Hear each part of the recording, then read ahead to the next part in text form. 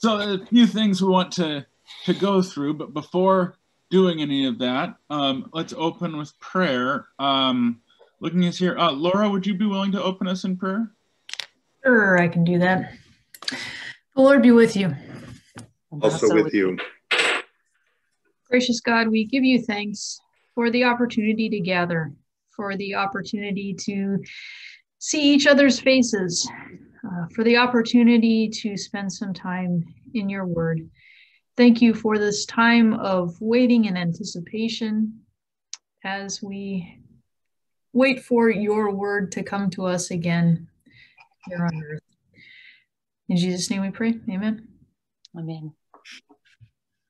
Thank you, Laura. Um, so last time you had a pre-recorded video of me. Um, I didn't watch it because I don't especially enjoy watching myself talk. Um, I hope it worked. Uh, show of hands, how many were able to view it? Okay.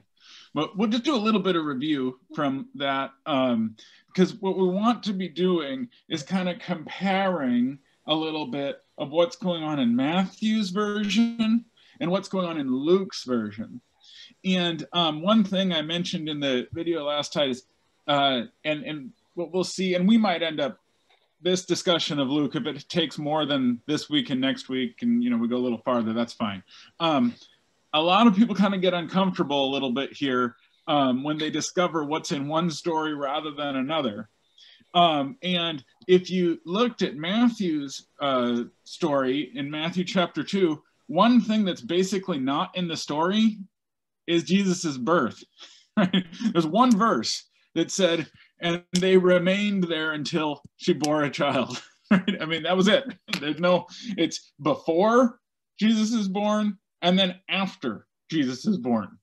Um, it's the actual narrative, which means all of the things about, um, you know, uh, born in the manger or barnyard or however you translate that, the traveling from um, from Nazareth down to Bethlehem, you know, none of that is there in Matthew. It's just a different kind of discussion. Um, and we uh, if, and, and, I assume you can still go on to the, uh, if you go to the actual YouTube channel, you can find the one from last time to take a look at if you like. Um, one thing I really kind of discussed was the way that what Matthew is up to in chapters one and two is paralleling Jesus with the story of Moses.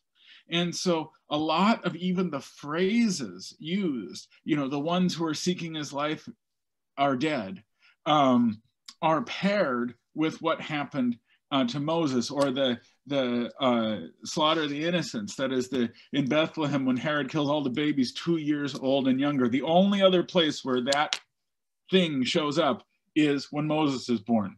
Um, so it, it's very deliberately trying to get you to think about that um, because uh, and remember chapter one that we did talk about together in Matthew was about how there's a new turning point in Judaism. Something new is happening, and it gets you back to thinking about what was going on with Moses. Um, which then, of course, makes it the most surprising that several points in that story, even though it was so tied to Torah and to Moses, was inclusion about the Gentiles. The Magi the people who come who are the only ones who really get who Jesus is, and the only ones who really treat him as a king um, is an outsider. The only other person to call Jesus king in the Gospel of Matthew is Pilate. Right? We have the outsiders understand who he is. So it's there's this double move in Matthew where it's Jesus is very much the Jewish Messiah, but what I always uh, my uh, when I used to teach Introduction to New Testament, my thesis for um, uh, the Gospel of Matthew was the Jewish Messiah for the Gentiles. um, that is, the, he's the Jewish Messiah, but deliberately being sent and having a message for Gentiles. And that's what we saw in Matthew. We've been talking about the inclusion of others, of outsiders, in Matthew, that is all about Gentiles. How are the Gentiles going to be part of this story? Now, when we look at Luke, um, there's a little bit going on with the Gentiles there as well, but there's going to be a very different um, style of inclusion here. It's also very interested in inclusion, and inclusion of people usually not included in Second Temple Judaism, but it's from a different perspective, and that's what we'll look at. But the things we see, what happened in Matthew's version, what happened in Luke's version, are going to be really different. Um, and one of the things we do, we we we just so naturally do it here um, as we move into uh, and now we're in Advent, we're moving into Christmas. Um, is we just naturally want to ask, well, what happened that day, right? What's the story? That is a reconstruction that we have to put together neither Matthew nor Luke gives all the day, uh, details. And so when we go and we try to put it together, we can sort of do that. But Matthew and Luke are both making very clear theological points. And we want to look at what are those theological points, try to get us there. And when we put it all together like that, we kind of miss all of that. Um, you know, for example, one thing in Matthew that's just simply not there is Jesus coming from humble origins or you know it just it, it, doesn't have that when they're in Bethlehem it explicitly says that they're in a house right? There's nothing about a manger there so forth. Granted it doesn't have that little timeline but the the um the point here we see there's different things being said and we're going to try to encourage you to think through that and what um what that means. So there's a lot happening with Matthew there. Um, real quick, any questions or observations on on um, Matthew's uh, version?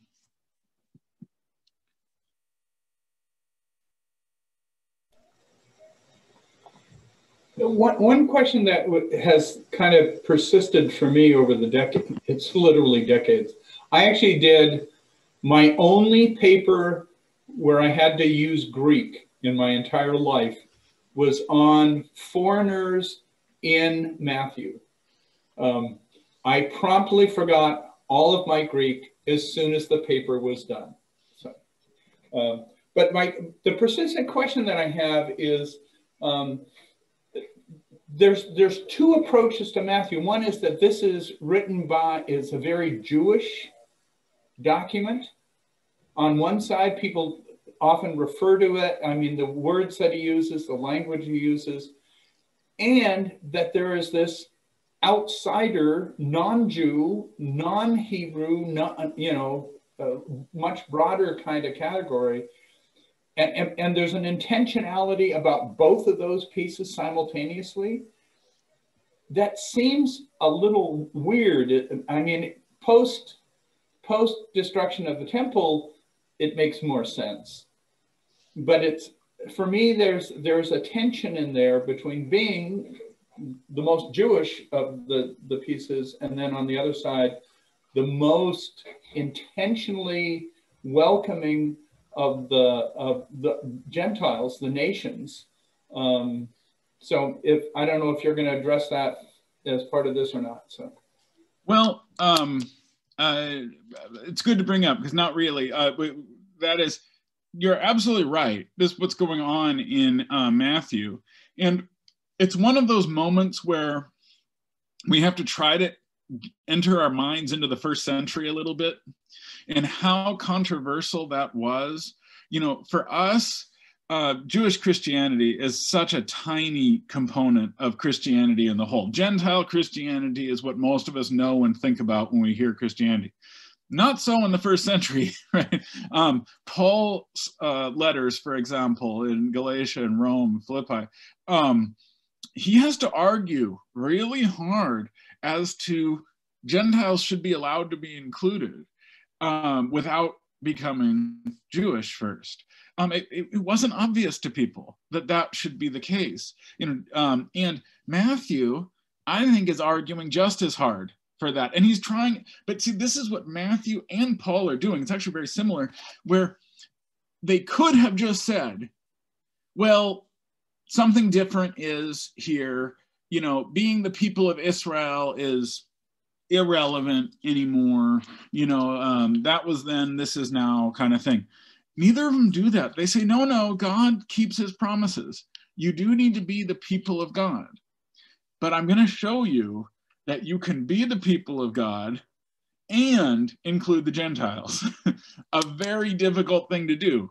You're saying, because, you know, you can't just choose to be Jewish, right? You can't just choose to be part of Israel. You have to be born into it. And they're both arguing that not only that well, that is true, you know, it's called the scandal of particularity that God just chose this one people, right? That's true, but it's also true that those who weren't born into it are actually included. You just didn't know, right? And that's what um, I think Matthew is doing. It's it's making a, a strong case for that all the way through. This is why in the genealogy, it included all these Gentiles, these Gentile women in there. It was to say they've been here the whole time. You just weren't paying attention, right? And it's going to be this theme continually. And the evidence is going to be look at all of these Gentiles who understand who Jesus is, right? Look at this. If there was a question um, as to whether or not um, Gentiles can have a real relationship with Jesus, it's showing you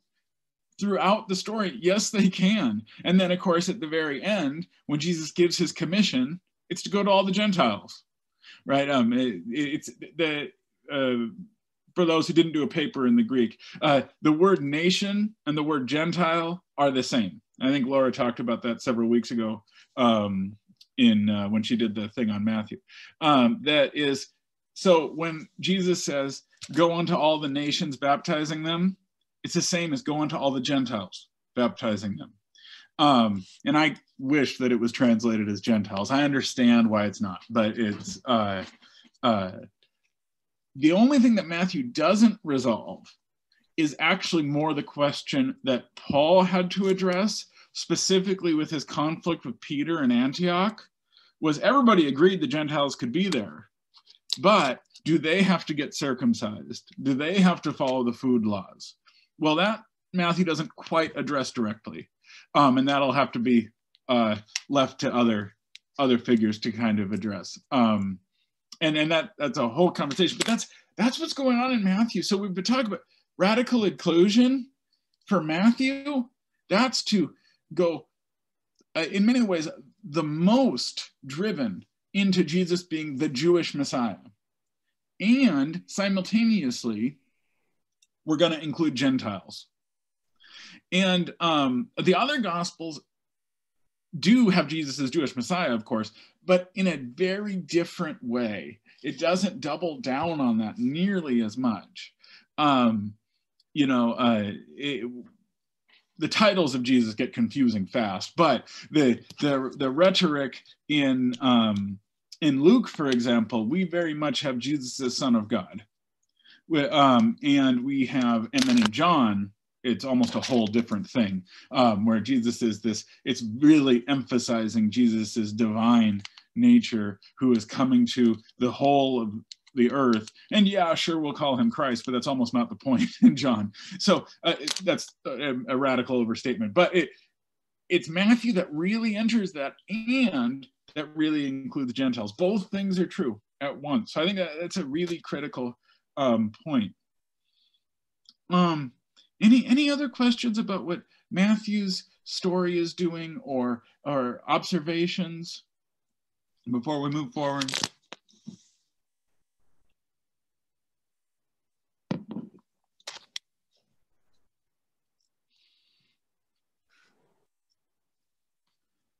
Okay, let's look at Luke. And if any of you think through here, you're remembering back to Matthew, feel free to bring that up.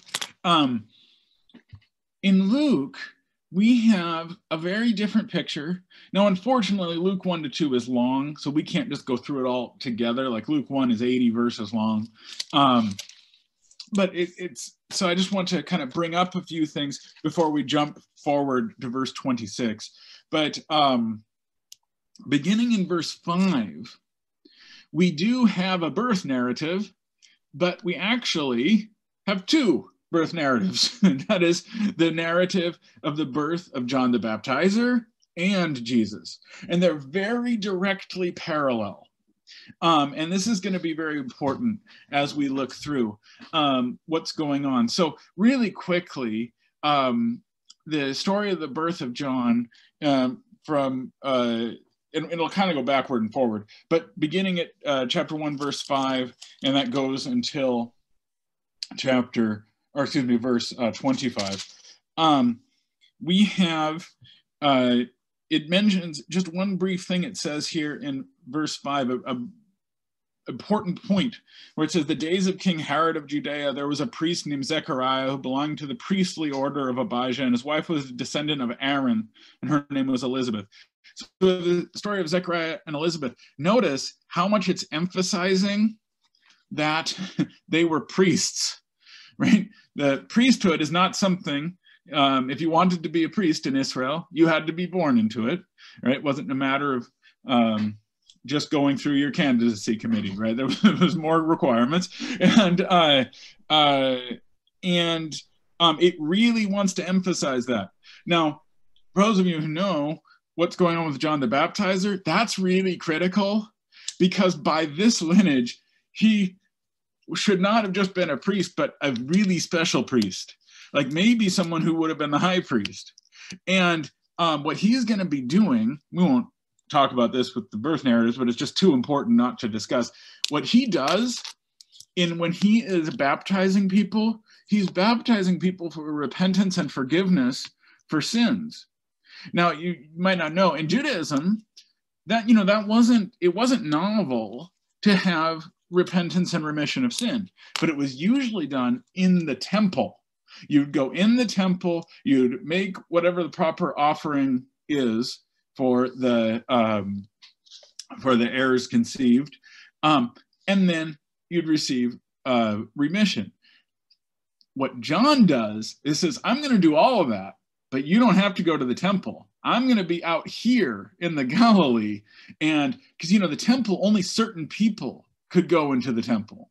and it was restrictive and there was you know uh, different things it says no everybody can come everybody in the community can come be part of this right even people who don't like him very much can come be part of this it, it's it's a totally different understanding and and um, also where he is in the galilee it was basically impossible for most people to make it down to uh, jerusalem you know three days walk well you know there was no um, you know we have the modern invention of the the weekend you know, uh, you worked every day except for on Sabbath, and on Sabbath you couldn't travel, and it wasn't enough time to travel there anyway. Um, these people have been structurally cut off from religiosity.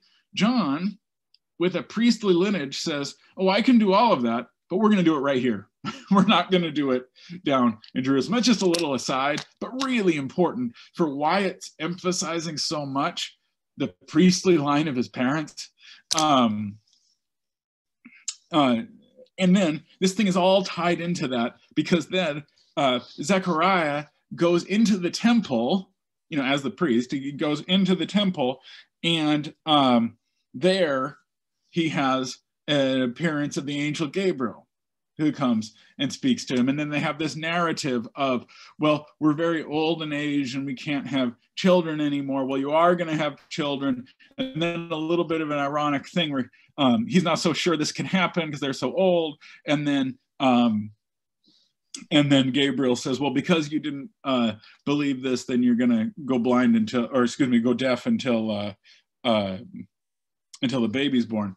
There's a very clear parallel here which is the birth of Isaac, um, of this uh, an angel coming, um, talking to them say, and saying, We're really old, we can't have children anymore. Saying, No, no, you're going to have a child. I won't really explain how it's just going to happen. And then kind of a disbelief moment when um, we always call it Sarah's laughter. But by the way, Abraham laughs too. We just don't seem to remember that bit. But anyway, that's uh, uh, uh, and and there's this sort of remember that scene and then um and then we have uh uh here this um this little uh moment where uh in verse 14 you're going to have this baby, you're going to name him John, and you'll have joy and gladness, and many will rejoice at his sight, for he will be great in the sight of the Lord.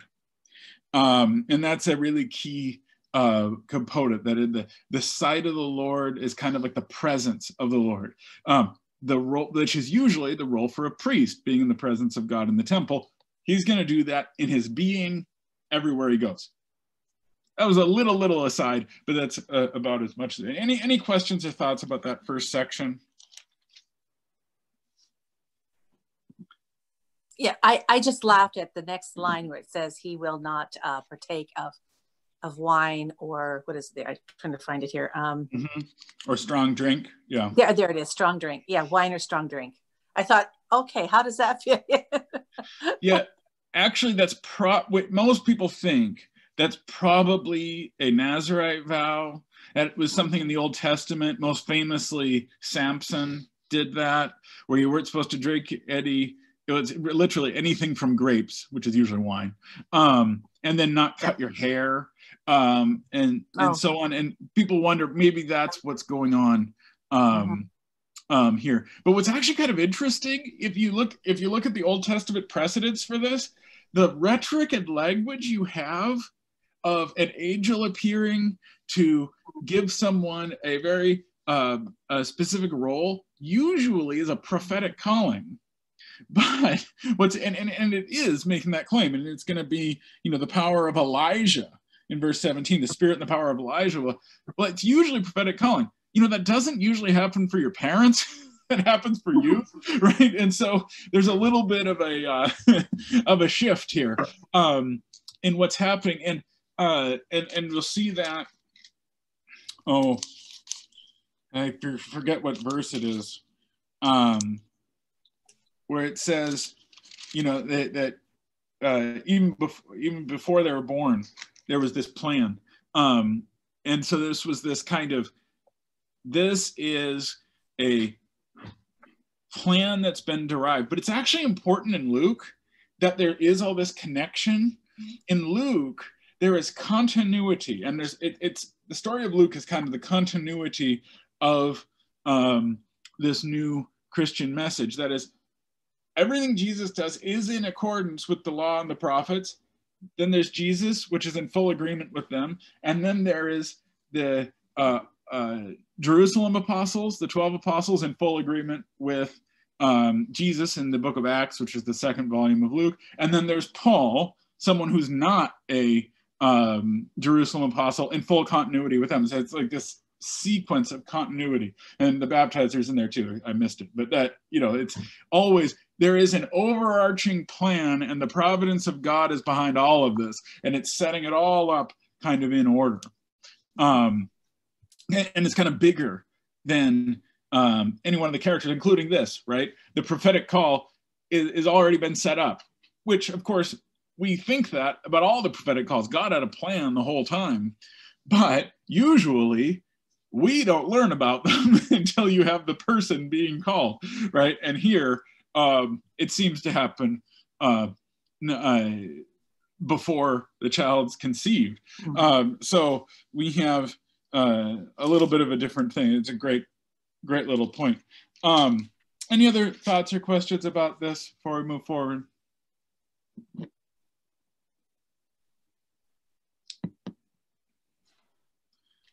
All right, let's jump forward to chapter 1, verse 26. If you have anything else about John, and, and we'll not forget John, we're going to do something I want to focus on here because we have to kind of pick a focus. But here we now have the story of Mary. It really is the story of Mary here. One thing that happened in Matthew's version, Mary didn't speak, right? She didn't have hardly any role except she was just there. The angel appeared to Joseph in his dreams. Here, Joseph is barely going to be involved. He will be involved, but barely. Instead, this is the story of Mary and Mary and Elizabeth, right? Zechariah's role is kind of done. Um, is Mary and Elizabeth is going to be included here. So let's start here, um, chapter 1, verse 26. In the sixth month, the angel Gabriel was sent by God to a town in Galilee called Nazareth to a virgin engaged to a man whose name was Joseph, the house of David. And The virgin's name was Mary. And he came to her and said, Greetings, favored one, the Lord is with you. Um, but she was much perplexed by his words. Uh, the word perplexed there is even stronger. It really means like lost, right? You know, confounded, you know, um, and uh, and pondered what sort of greeting this might be. The angel said to her, Don't be afraid, Mary, for you have found favor with God, and now you'll conceive in your womb and bear a son, and you'll name him Jesus. He will be great and be called Son of the Most High, and the Lord God will give to him the throne of his ancestor David. He will reign over the house of Jacob forever, and his kingdom there'll be no end. Mary said to the angel, How can this be since I'm a virgin? The angel said, The Holy Spirit will come upon you, the power of the Most High will overshadow you. Therefore, the child will be born will be holy, and he will be called Son of God.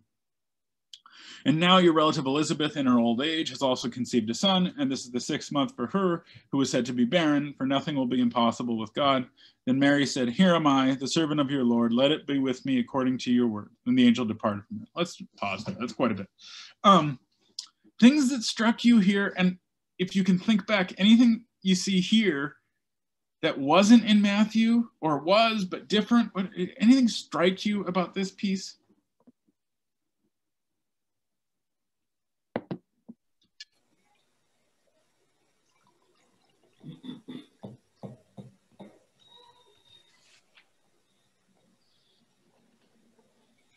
It, it, you know, one thing, usually when angels show up, um, the first words out of their mouth is, don't be afraid.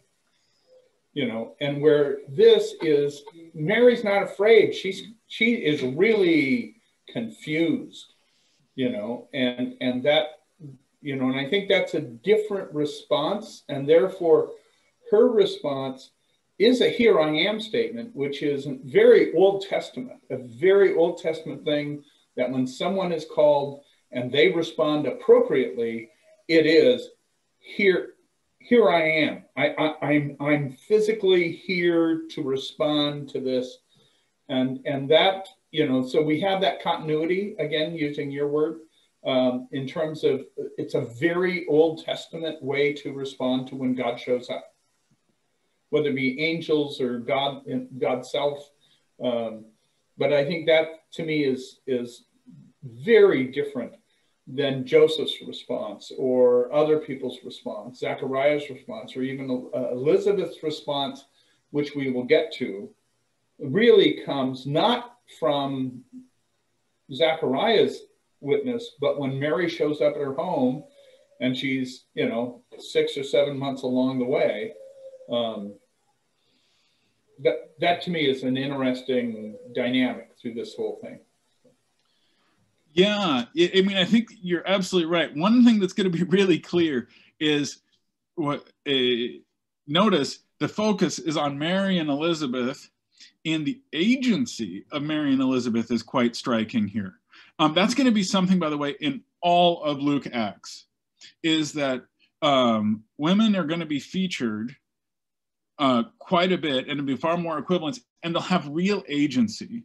That second piece a lot of people talked about this well you look at all the the kind of women showing up um, but there's the other piece is that they often really have things they're doing. They're not just around you know and that's um, a really critical component already set up here in chapter one. Um, and uh, uh, like for example in matthew we did have the women listed in the genealogy. And you know and that leading toward mary but mary didn't do anything in matthew. It wasn't leading there. Here this is mary's story. She's really doing something. And and elizabeth's too. And there's sort of a debate about what mary does and what elizabeth does sometimes in the text but it's clear it's one of them right? And that's uh, uh, i think a really critical component here. Um, and one of the things that about really making the point of inclusion is that in Luke is that women are going to have a much larger role here than in almost any other book in the New Testament. Um, so that's a, that's a critical component. The other piece that you're absolutely right is that this is not a very usual way. One that angels show up. The way the usual way is what we saw with Zechariah, right in the temple, right in a big powerful thing, right that looks a lot like calling the Old Testament prophets. That's not what you know uh, Mary has. Yeah, usually it's this theophany and it's shocking and people don't know what's going on. Here, notice the words. Uh, it says, "Greetings, favored one." The angel makes it sound like this is a normal conversation, right? you know, we just start with a normal greeting, um, and then it ends when they're in verse uh, 38. Pastor Mike, you're absolutely right. It says, "Here am I." right? The servant of the Lord. Well, that sounds like something that, say, Isaiah says, you know, that here am I, send me, kind of thing. But it didn't happen the way it normally happens. It was something far more um, down to earth than that. And I think there's a reason for that. You know, um, for one thing, um, Mary, as a woman, couldn't go into the temple where it was. And also, she's not a priest, not from a priestly family. Um, so, you know, simultaneously, Jesus can't go into that part of the temple either. I mean, it's just um, uh, it's a uh, completely different uh, space. Good. Other things that surprised you, or maybe different than you noticed from Matthew? I this is kind of along the same line, but it, I've appreciated it, and it stuck out to me again, and in particular this time that Mary is asking questions before she commits as well. This is not just okay, I'm gonna, I mean, she, she makes that here my statement, but she's asking some, some questions to get to some details first. Um, and that's okay. Sometimes it feels like, and I'm not conjuring the specific references to mind at the moment, but sometimes it feels like we're not supposed to, but she's, um, you know, in other stories in Old New Testament, but here she's yeah, she's information gathering um, before making an informed commitment, and um, yeah, yeah, and you can even contrast it just with Zechariah, right? Zechariah wasn't so sure, and he went deaf, right? That, yeah, Here, exactly. There, yeah. Here, she's confounded and confused, and and I think there's something about the honestness of that response. You know, she's like I don't know what's going on here, and then and then the and then Gabriel explains, you know, a bit more.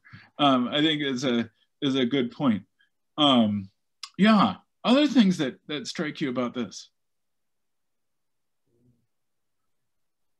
It, you know, I, I, the other piece that for me is interesting is that this is theologically positioning um, the whole rest of the Gospel of Luke in terms of um, the, beat, the way Beatitudes are defined, the way that who Jesus shows up to, you know. Um, I mean, there's a whole, I mean, the whole gospel is basically, in a sense, what they're doing in this prologue is, is telling you, guess what? God's going to show up with people that you don't expect. And that change, and it's kind of like for the reader, the reader is supposed to be shocked at saying, What? You know, this young virgin girl is supposed to be, you know, the mother of God, you know, the son, the son of God. And, and, and therefore it, it kind of, it doesn't even hint at it. It's so, it's like a hammer, you know, saying, this is how, this is who Jesus shows up for you know, and it's not just foreigners, it's for the poor, it's for the hungry, it's for the lame. It, it takes Mark's healing stuff of all these dis, disenfranchised people and just says, this is God's, God has a preference for these people. And I think that, cha- that changes the whole rest of the gospel. Luke's point is not about proving a, uh, a, a, a, Jew, a Jewish thing. It's to prove who who does God who is God's preference in this in this pattern. So yeah, absolutely. Terry, you also had a thought. Uh, yeah, sort of back to Laura's point, and it seems like there's a process of discernment that Mary's going through. It's pretty quick, but you know, from the greeting, and she's shocked or perplexed or confused or lost, and then the angel tells her more, and then she asks a question. It's a pretty pointed question. You know, how can this be? You know, I'm, what me? Who me? You know, and then the angel talks some more, uh, and then she says, uh, "Here I am." So it's not uh, like quick, like okay, whatever you say immediately.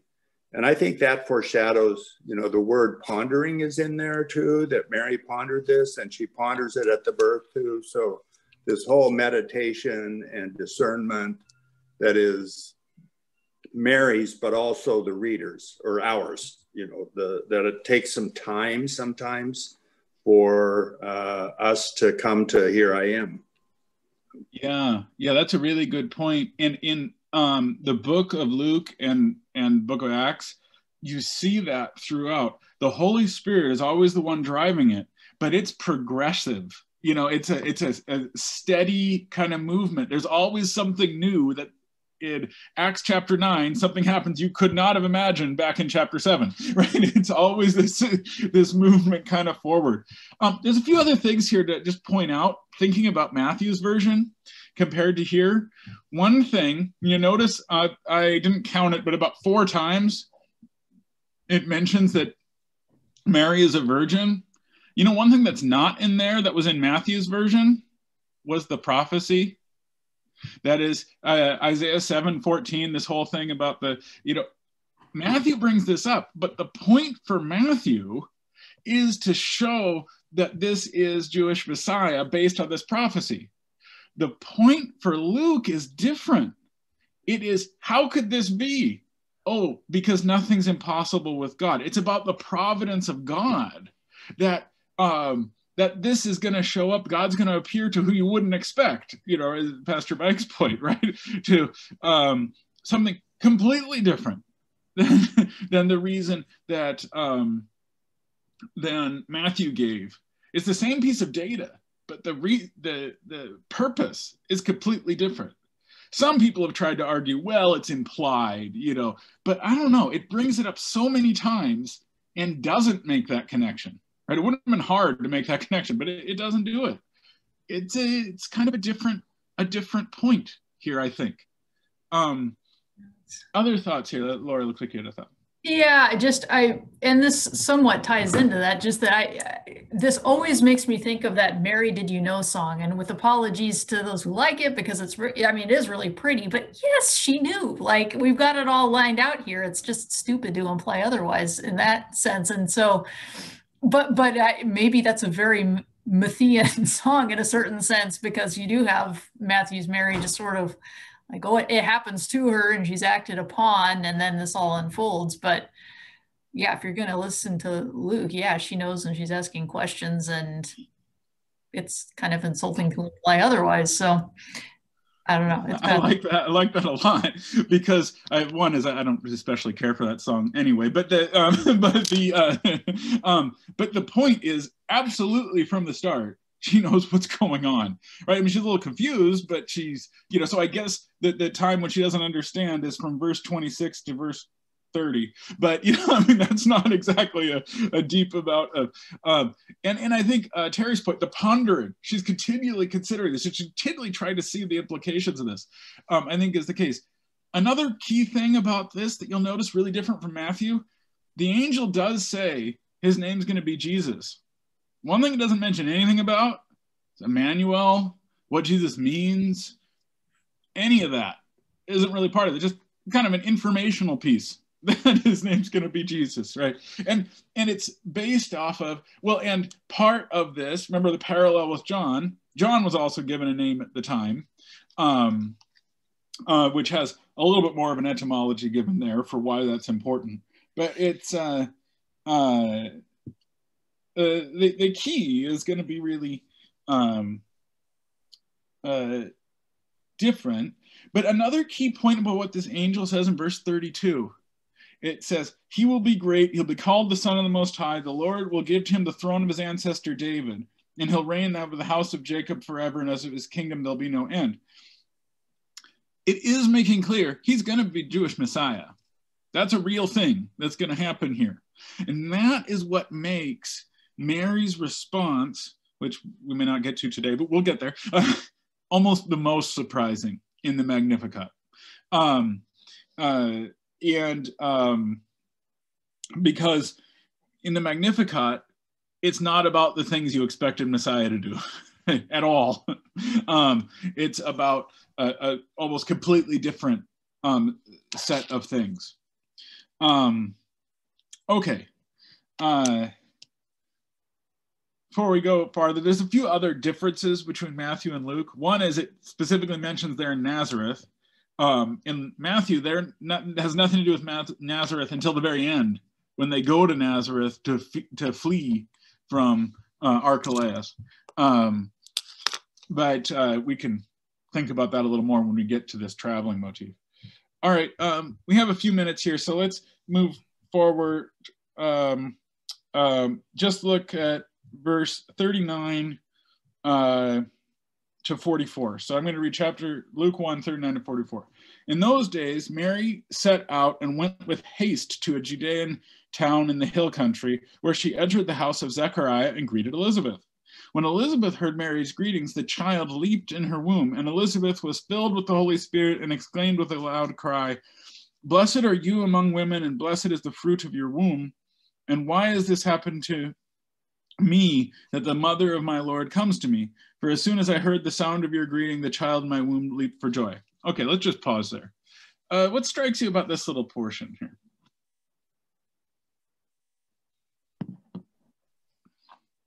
Well, it's a remarkable level of interpretation on the part of Elizabeth. I mean, I still remember the first time I felt Meredith leap. It was because Jeff tested the smoke detector. That was, I mean, completely she, she's drawing a lot on this, uh, which makes you wonder where she got it.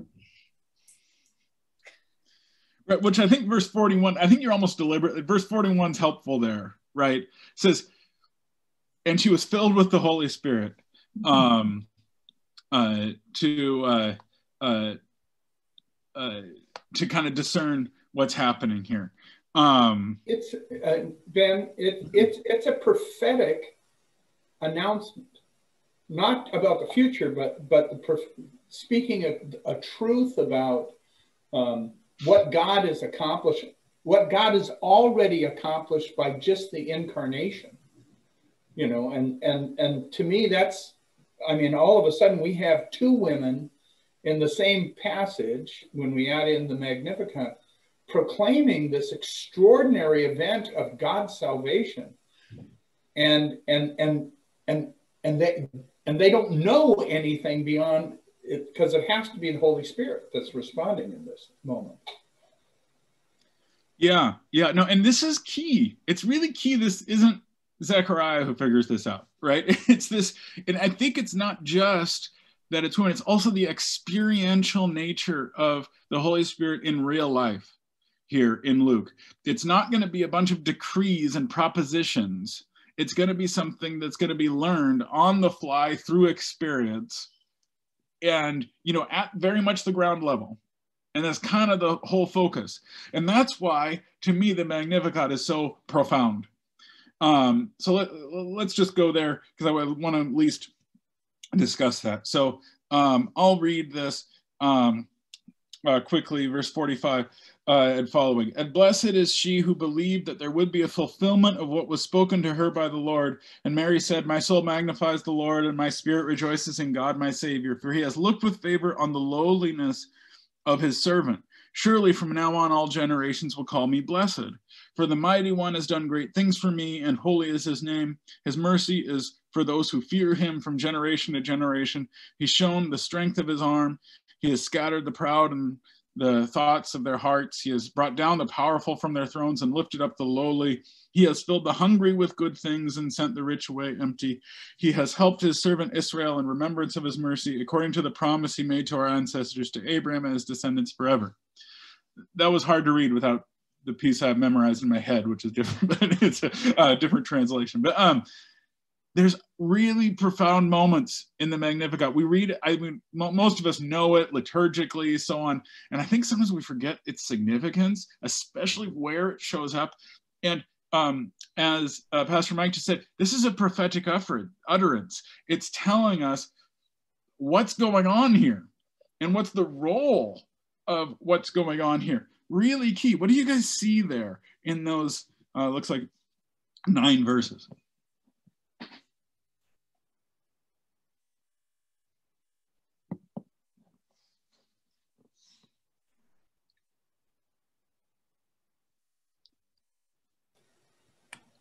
Well, in some sense, I preach on this in a couple weeks, so without giving away the store or whatever, I, I mean, it, it it's very assertive. This isn't speculation. This is, I mean, these are assertive statements. Yeah, and you know, a really key point in Luke, and also all the Gospels, because of the way a Gospel works, is it's going to simply um, exposit. Here is the reality of this, and I'm going to show how it plays itself out. I'm not going to provide a bunch of logical propositions to prove why this is the case, right? Um, for that, you have to look to Paul, but uh, and, uh, uh, sort of. But um, that that is definitely the case. I mean, that's what to call it prophetic utterance is right. You know, in the Old Testament, when prophets said things, they didn't prove that. It's like, no, that thus says the Lord. You know, this is just this is just the case. Um, a really key point though is the shift from what Mary was told, right? Mary's confused. She wants to know. She's told this is Jewish Messiah. That's what's going to be happening. And that her declaration basically has nothing to do with what they would have expected Jewish Messiah to be. It's really not. If you look at Zechariah's um, uh, little speech there at verse 68 and following, and we'll maybe do a little comparison at the beginning of next time with that. That's what you expected more from Messiah. Here, though, that's not that's not what we have. It's all about caring for the poor and the the lowly, um, the hungry, um, and it's you know uh, it says, "My spirit rejoices in God, for He has looked with favor on the lowliness of His servant." None of that had to do with Messiah, right? Messiah was supposed to be. Remember where the Magi went? They said, "Let's go to the palace. That's where Messiah is." Right? if this is a king, then it's you know, uh, and and one thing about Israel um, in the Old Testament was theoretically they were supposed to care for the poor, but it usually didn't really come down to the administration of justice in the kingdom very much politically. It was like a religious obligation that you know it's kind of you know, and, and they get lampooned for it many times, but that's the um, the the situation we have here. Here, that's exactly where Mary goes. It's not something we would have predicted. It's not something that was really revealed from um, the angel. It has to do with Mary's experience of it, it gets to who is it God is coming to? Who is it that's happening? What does it mean that Messiah is not coming from family of Herod or you know aristocracy, but to absolutely humble origins. And and real briefly, Jesus is absolutely from humble origins. I know everybody makes a big deal that Joseph is a carpenter. You have to think in the first century, that was not a compliment. That was not a skilled laborer. That was someone who didn't own land and had to be unskilled labor for hoping someone would hire them. And the uh, the advanced skill, uh, carpentry, it really is like builder with a lot of, you know, making blocks. Remember, that's what the, Egyptians made made the Israel the Hebrews do in slavery. Um, this was not a good position. You know, artisan crafts. Most frequent people doing that were slaves. In fact, it doesn't appear that Joseph or Mary are slaves, but that um, that was usually was so. Jesus what does it mean that Messiah is coming from that um, space. And that's really what Mary's reflecting on. Uh, any any any thoughts here? Um, I have a few other things, but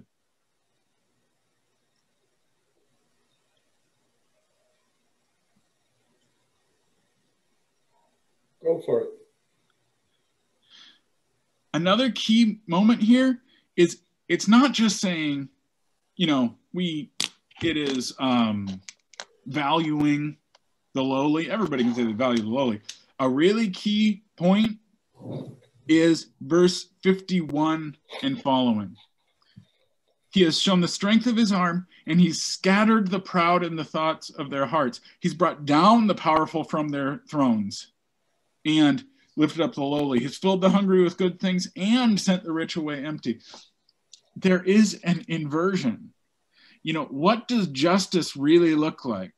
And justice is really key in Luke.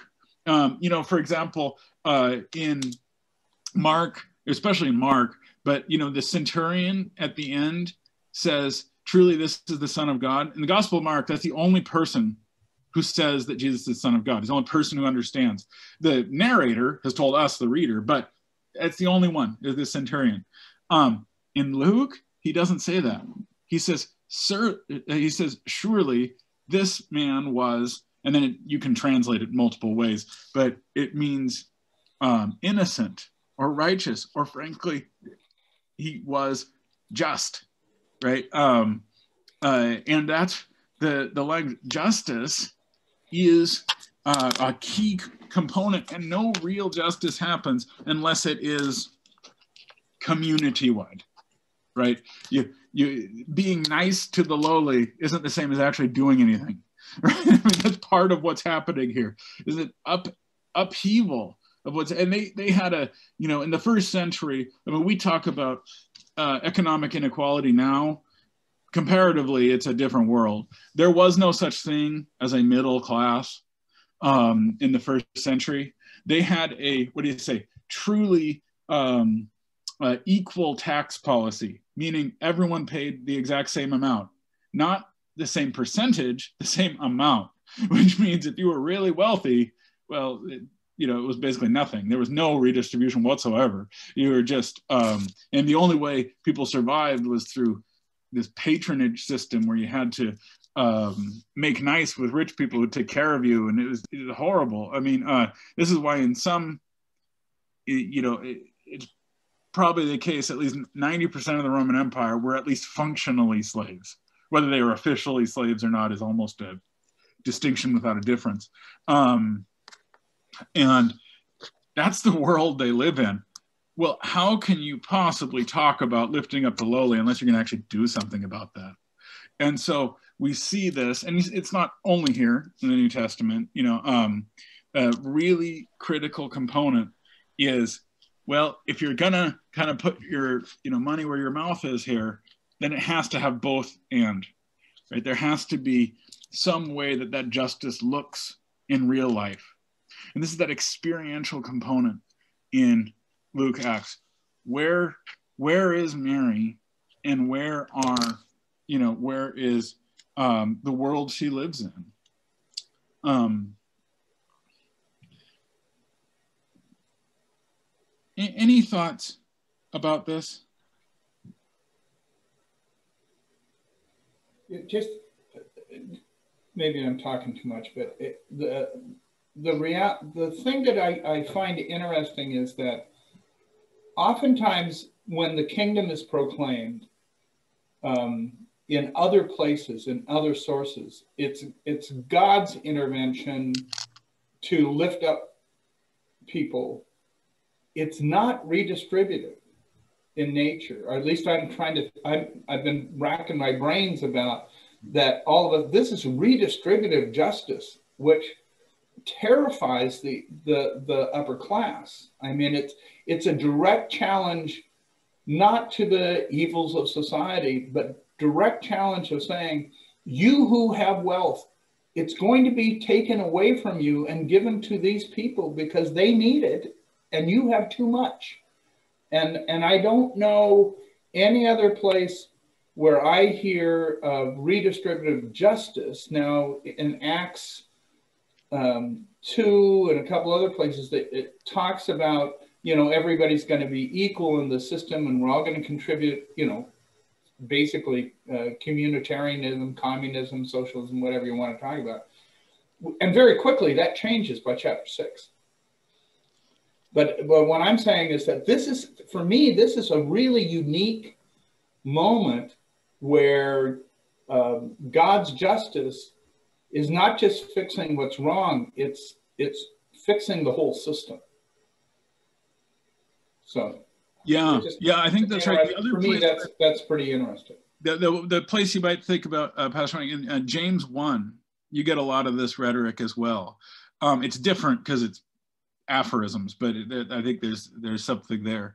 Um, but but you're right. Um, and uh, uh, and there is this kind of thing. I mean, this is and once again, while Mary is saying things that were not what expected of Messiah, it's not unheard of, right? If you look at something like Amos or something like that, caring for the poor was a really important piece.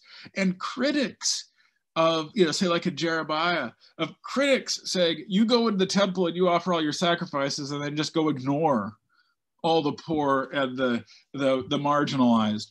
Um, you could see that here, but to this level of uh, of this idea of uh, redistributive justice is important. And it's also important in Luke. Luke has it, you, you mentioned, Pastor Mike, the concept of kingdom. Now, we haven't, uh, I don't think we've come across the word kingdom here, but kingdom in Luke is different in that in Mark, the kingdom of God is something coming and we're waiting for. In Luke, there is something coming, but it's also already within you, within the community, in the here and now, that we are to be the kingdom of God in the world. So rather than, you know, what we call that um, waiting, you know, it starts with there is evil and inequalities in the world. And in apocalyptic eschatology, we're waiting for God to come and solve it. Right? Um, he's gonna he's gonna come and destroy evil. In Luke, we might call it ethical eschatology. That is, yeah, there's evil in the world, but part of your role as being church is to be addressing that in the world right now, not to wait upon this coming in the future. Um, which Lutherans like using the words now and not yet uh, for that same that that same dynamic. But that's I think what's going on here, right? It's say there's a real role for you right now. That's part of uplifting the lowly. You know, everybody's included, and that's going to be a really key component here. Is it's not just those people in the temple, it's not just those aristocracies and the you know, um, uh, so forth, the people who can, you know, really do something or something. No, it's regular people here. You know, the the the people who usually don't get speaking parts, the people who are usually not in part. This is this is what the Magnificat sing. What does it mean that that's where the Messiah is coming from? And then the Messiah is going to do something that is very surprising, and a lot of it has to do with the source origin and the plan here, and that's part of the idea. Remember again, the providence is a bigger plan than you could have imagined going through here. Okay, we're just at about time, but uh, any final thoughts or um, questions about this?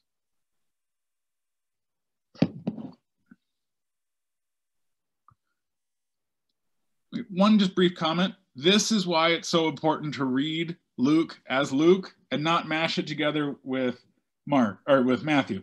In Matthew's version, he is Jesus is being given wealth by aristocrats by you know it's all about happening in the temple or in the court of the king. Herod i don't know if you missed it you got how much he was involved here in uh in verse 5 in the days of king herod of judea. There you go. He's included. I mean there was there, there is it's just a different story altogether and it's a different and you only see that if you see what is Luke doing and what's Matthew doing, and they're different things, and who is included really matters. So um, that's what we'll do. We'll take a little bit of time finishing up chapter one, and then um, look into chapter two. Uh, I kind of think we probably won't get through, through the whole thing next week, but we'll we'll kind of uh, take the time we need because I think this is really important. And I want to encourage you as you're looking through this. Um, you know, maybe now this week, if you have time, go read through Matthew 1 and 2 again. What do you see there now that you've been doing a little bit of comparison? And then compare it with Luke. What do you what do you see there? You know, these are brief enough you can kind of go through them. And often that second reading is where we really see a lot of the depth there. So um, we'll start with that next time. Any observations you have? Okay. Um, Pastor Mike, do you have any announcements? And then could you uh, close us in prayer? Yeah. Um, no, just just the normal ones. We are still, uh, if people are looking to get a Christmas picture, uh, the space is um, decorated, and so we just we've had a couple people today. So, but probably by next week we'll be done with that. So please let us know. Um, let's see what else. Da, da, da, no. Um, one thing that I'm playing with, and if people have feedback on this, I'd, I'd love to hear it. Um, we're thinking of uh, at least starting with an experiment in January, and I'm not sure which Sunday of the month it's going to be. It's maybe the second Sunday to actually do a Zoom worship, very simple, not a lot of production stuff, but a Zoom worship uh, on Sunday morning, 10 o'clock, where we could do some interaction around the text and have some more conversation. Uh, rather than me preaching a sermon, I do kind of a short introduction and then really kind of play with the questions, play with the text in some intentional ways. Um, we're just, I think that we're in need of seeing each other. And I think that, and so one of the things that we would do in that worship is to break into small groups and have a, a little bit more conversation with within that small group about the text and then come back together and then share some insights. Try it a couple times, see, see if it, if it plays, if it plays well or plays enough, uh, then what we would do is, uh, I don't know I'm if I'm ready to do two different worships every single uh, weekend, but we'll, I used to do three different services every week, or four actually, when I was at Trinity Gresham.